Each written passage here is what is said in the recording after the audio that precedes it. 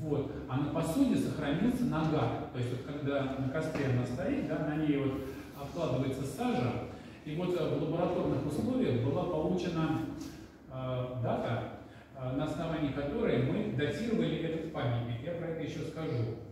Вот э, такая посуда, это вот такая реконструкция, знаете, такие горшки вот такой характерной формы, с таким округлым дном. Они достаточно большие, потому что в этом горшке готовили пищу для такого небольшого коллектива.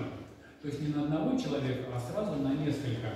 И что интересно, вот эта форма сосуда вот с таким вот дном, она оказалась достаточно универсальна для той посуды, которую разогревают на очагах. То есть не на плите с ровной поверхностью, а на очагах. Очаги обычно обкладывались камнями, да, а камни могут быть разных размеров, то есть побольше, поменьше, да. Вот, и, соответственно, посуда с таким полукруглым дном, она всегда найдет три точки опоры. Всегда, вот как вы камни эти не раскладываете, посуда будет всегда стоять ровно. Вот если бы у этого горшка было ровное дно, то нужно было найти три точки опоры, то есть три камня в плоскости. Вот. А вот такая форма, она оказалась очень э, универсальна именно для таких типов вот, очагов. Вот, и это говорит о древности вот этой вот формы сосудов, о ее архаичности. Вот, и мы